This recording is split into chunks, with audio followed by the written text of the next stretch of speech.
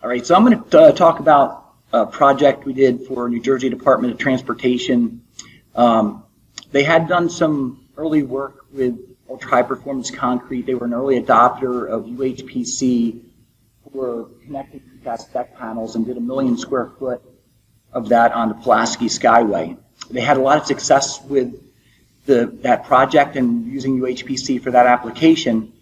And they wanted to find out, um, you know, they had heard that people were doing UHPC overlays and wanted to evaluate it and decide if it was something they wanted to adopt more widely in their bridge preservation practice. You said it was. There we go. All right. So they wanted a better understanding of the material, how it works, how to design with it, construct it. Um, they wanted to develop standard plans um, de- or details, standard specifications, so that they could more widely deploy this. So they, they started out with a project. Initially, there were some other materials that were going to be evaluated as well, so they were thinking about including other um, types of overlays, but eventually they had to work within their financial constraints and decided just to focus the whole project on ultra high performance concrete. So by a show of hands, how many people here know what UHPC is, is familiar with the material? Okay, about two thirds, okay. So for real high overview, for those that aren't familiar with UHPC, it's a cementitious composite material um, very high compressive strengths, typically greater than 20 KSI in compression, 1 KSI in tension, 2% to 3.5% steel fibers by volume. Um, I've given that the tensile properties, very extremely durable material, excellent bond strength. And those are some of the, the characteristics that really make UHPC an ideal candidate for, for overlay projects because you get that great bond, you have a really good uh, protection of your deck. You can actually strengthen your deck if you need it. So a lot of advantages. I don't want to go too off topic on that, but just to give a high level for those that are not familiar with the material. So as part of this project, they wanted to do evaluations, periodic evaluations, to see how it was performing over time to make sure, sure it looked great when they installed it, but if you go back two years later, you know, years later, are we going to start seeing problems? Is it really going to keep the chlorides out of our deck? Is it going to stay bonded? You know, all of those things we're, we're, we think it's going to do. They wanted us to be able to verify that. So the construction was completed in December of 2020. Beginning of the project, they, they um, asked us to evaluate a bunch of different parameters. Um, the performance of the overlay on a wide variety of bridges to get a, you know, see not just how does it perform on a simple span steel girder bridge, but how does it perform on a continuous uh, pre-stressed girder bridge, for example. Um, on an older structure where the deck maybe is starting to deteriorate a little bit versus a, a newer structure where the deck really is, is in pretty good shape, but they just want to be able to extend the, life of it even further. So we started out with, with um, I think there were eight bridges that were on our sh- initial short list. And then because of, of different constraints, four of those were, uh, only four of those were really moved into the final design and construction. So the four bridges you can see here, do I have a pointer? Yeah, not really, can you see that pointer? Barely. Barely. Anyway, um, so these are the structures that were chosen. So I-295, that's a continuous steel multi-girder five-span bridge. Uh, New Jersey 57 over Hansbrook. Um, that's a little tiny 25-foot span, single-span pre-stressed adjacent voided slab bridge. I-280 westbound over Newark Turnpike. Um, three span simply supported steel girders. We got our simply supported steel. We got our simply supported pre-stress, you know, et cetera. We cover all those different attributes so we can evaluate how the UHPC performed on a, a variety of structures.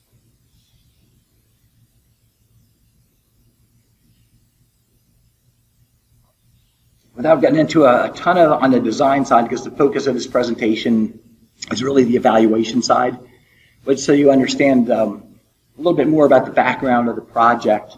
Um, in general, when we're trying to do these overlays, we want to maintain the existing top of deck if we can, so we don't have to make any adjustments to the roadway profile leading up to the bridge, and also it triggers different environmental issues if you change that grading. So we wanted to avoid, avoid that and, uh, if at all possible. We, we were only trying to waterproof the deck. We only needed an inch and a half of UHPC to uh, obtain our, our design objective. If we were trying to strengthen the deck, then you might want to go to a thicker overlay. In this case, we're not worried about strength. We're just trying to provide durability. Some of the bridges had an existing asphalt topping. Um, what the standard practice in, in the United States has been with UHPC overlays is that's your final riding surface. You grind it, you groove it, and you drive on it. In Europe, the standard practice is quite different. They place the UHPC, then they put uh, HMA uh, wearing surface, and, and that's the way the Europeans, particularly the Swiss, and um, where this is very popular, that, that's what they do. So we decided that we did a couple of bridges with asphalt, we did a couple of bridges without asphalt. Um, and the reason we chose asphalt or not asphalt was what was out there existing. We didn't want to take out, um, you know, two inches of asphalt, another inch of concrete, and then put in three inches of UHPC. It's not a cheap material. You don't need three inches. You only need an inch and a half. So in, in some cases, we put a thinner overlay and then put asphalt on top of it. When it gets into the evaluation side, that made a lot of challenges for us. So I'm going to talk about some of those challenges I get further into the presentation.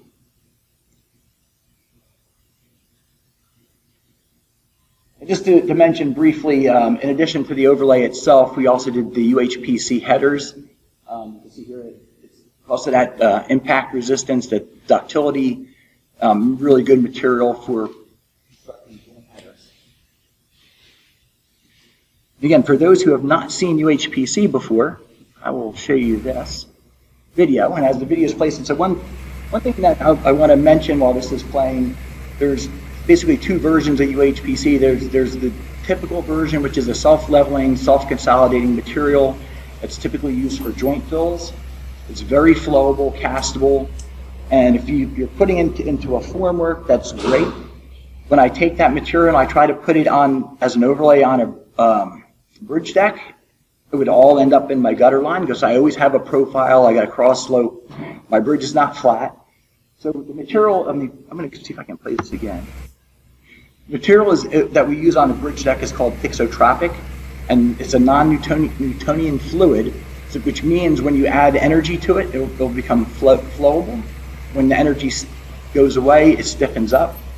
So when that vibrating screed goes over it, it vibrates, it adds energy, flows, takes the shape of the screed, the screed passes by, it thickens up, and will hold the grade. We placed this with adjacent uh, traffic on this, this project with no issues from vibrations. I, I didn't include that video in this presentation, but I have another one. You know, we're, we're watching them pour the UHPC, and there's, there's you know, 18-wheel trucks driving by in the next lane. Um, no, no issues from, from, from that. It's a question we always get. Um, real quick, um, because I'm going to show you the NDE of this later, so I wanted to present the, the joint detail. And, you know, when you're doing an overlay, you almost always have, you can't close many bridges and detour them, so you end up with a longitudinal joint you're doing in stages. This is a detail that was um, adapted from a, a Swiss standard detail. And the idea here is to um, make sure that that joint is not the weakest part of the overlay. You're spending all that money on this impervious overlay, and you have a leaky longitudinal joint. You know, your deck underneath this is going to corrode. You have a weak link. So this detail has a step in it, and I wish I had my a better pointer, but I don't. Um, but I think you can, can see the detail. So you pour half of it with the step. You have a rebar. Rebar um, is there, particularly if you have any structural loads it's optional if it's in a not in a negative moment region to put the bar. We like to do it anyway. It adds a dollar or two per linear foot to get this detail versus a very simplified detail. We also did belts and um, suspenders. We did an exposed fiber finish. You put a set retarder on the form. Once you get initial set of the material, come back with a power washer, expose the fibers. UHPC grabs the fibers that are exposed, and the you know, fresh and the hardened UHPC are now bonded together uh, through those fibers.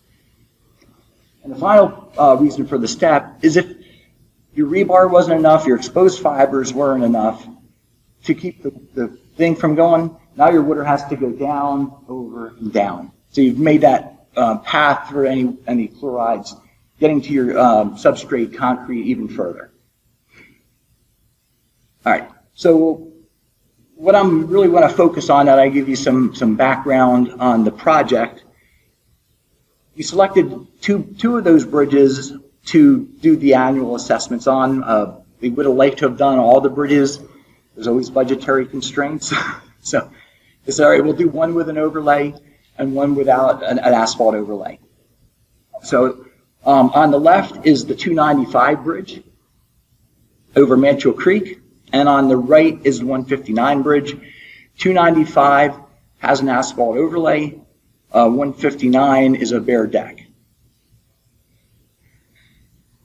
What kind of testing did we do? We wanted to, again, evaluate the, the main things that we were concerned about, which were, were the bond behavior, um, the ability to keep the chlorides out, and we evaluated that using a combination of impact echo ultrasonic shear wave tomography, often called MIRA, pull-off testing following ASTM C1583. And we did chloride profiles ASTM C1152, which I think are the, these um, acid-soluble chlorides.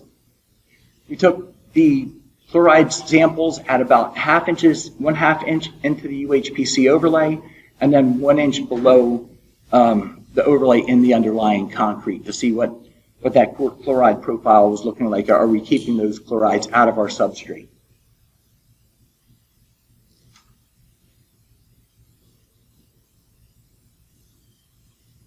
Now, I'm not going to get into a, a, ton of details on, on the technologies. I, I think these are all pretty well known, but just very brief overview. Impact Echo is a very simple test. We got a, an impactor. You can see the person's holding their hand, connected up to a computer, impact a concrete, wave bounces down, it hits off um, the lamination, it re- reflects back, the solid concrete reflects off the back wall and comes back, or the bottom of the deck in this case. So we can see if there was any shallow delaminations that we could associate with debonding of the, the uh, UHPC would show up very clearly using this technique. It's, it's very quick, very efficient, but only spot coverage yeah, we're doing, I think we did a two foot by two foot grid. So, you know, not, there's a lot of stuff you couldn't miss. That gave you a pretty good idea what was going on. In certain other uh, representative areas, we, we used the ultrasonic shear wave tomography. Um, and this particular one is a Mira Pro 3D. So it's got 16 channels. Each channel has four transducers. And they fire off in a sequence. So if you look at the white lines in the image on the left, the first transducer sends out a shear, a shear wave, bounces off and reflects, and all the other 15 sensors are receivers at that point. Then you get the yellow lines, the, the second one would then fire off, and then same thing happens. So you, you have a whole sequence of each transducer provides a signal and then receives it. The others receive it. We can then take all those individual um, scans, combine them together um, using SAFT-C, to make a 3D representation of the deck. Here's an example test plan.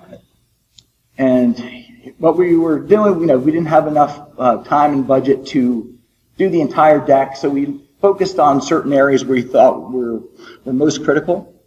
So one was at the, the red square, kind of horizontal square at the center line. That's where that joint is. We wanted to see how that joint was performing. We've got some uh, areas over the pier um, where we have negative moment, we have a lot of tensile stresses, so we wanted to evaluate those areas as critical.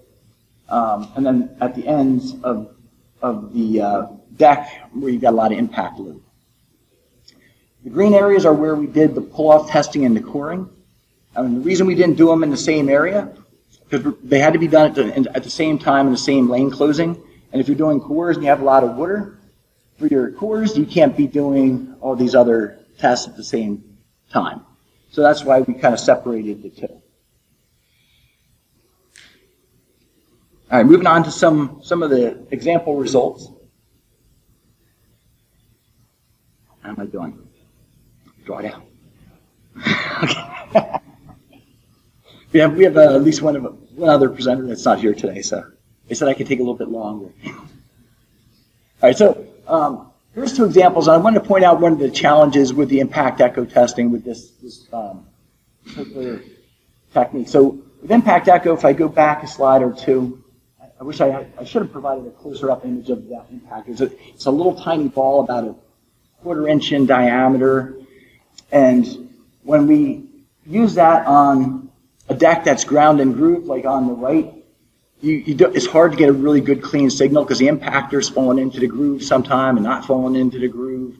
You get scattering of this, um, the shear wave of the stress waves. So on the right, you, you can see it at six, uh, that's the, the bottom of the deck, reflection from the bottom of the deck. Um, you can see that you're mostly seeing that, but you see a lot of noise in the middle. On the left is the bridge that had the asphalt overlay. So a nice clean image there. Um, you know, you don't have nearly as much noise. But the challenge there is when, when, you, when you have warm asphalt, it's very soft. And we tried to do this initially in, in um, I think it was May, and we ended up out there on a day that decided it wanted to be 90 degrees.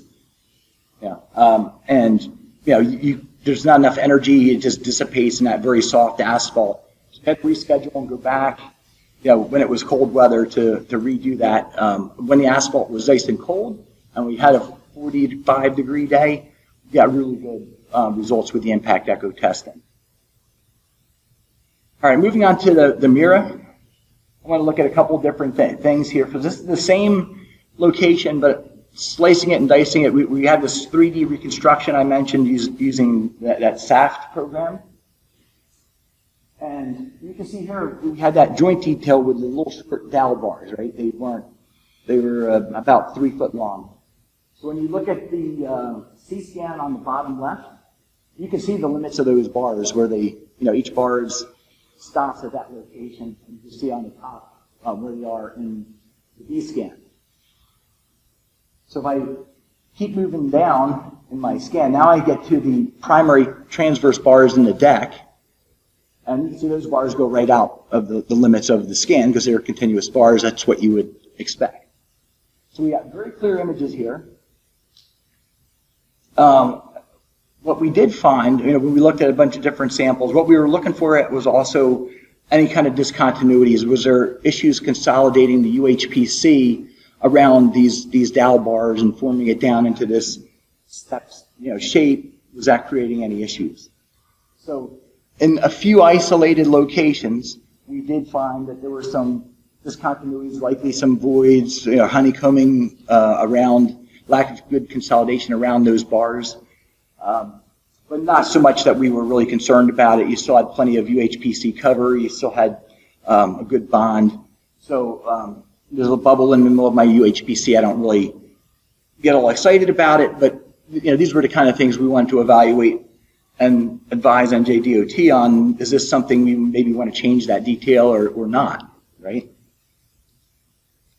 Um, pull-off testing, this is the results of one bridge. So A is, is a failure in the substrate. What we always want is um, our, our overlay, when you pull on it, the bond tensile strength is greater than the tensile strength of the substrate concrete.